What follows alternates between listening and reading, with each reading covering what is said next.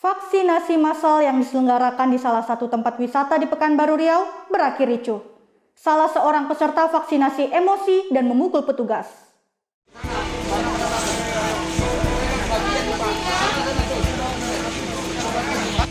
Kericuhan tersebut berawal saat kerumunan peserta vaksin berdesakan dan berebut untuk mendapatkan formulir vaksin.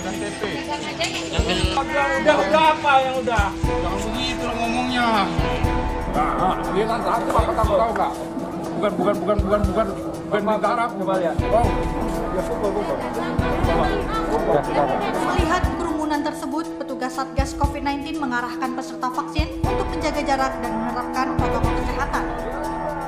Namun salah seorang peserta vaksinasi secara spontan memukul petugas. Ketua Satgas COVID-19 Kelurahan Tanggerang Timur, Wahyudi mengatakan peristiwa tersebut terjadi karena kesalahpahaman.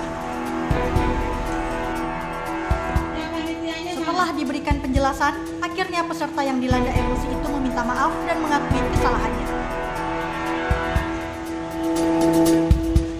Memang tadi ada terjadi sedikit uh. Itu penyebabnya karena antusias masyarakat yang tinggi untuk vaksin.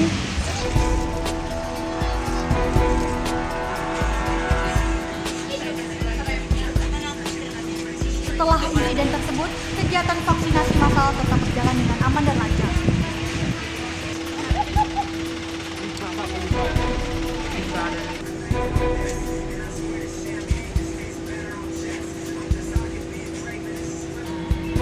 Sebanyak 343 peserta yang mendaftar berhasil divaksin oleh tim medis di atas bis keliling.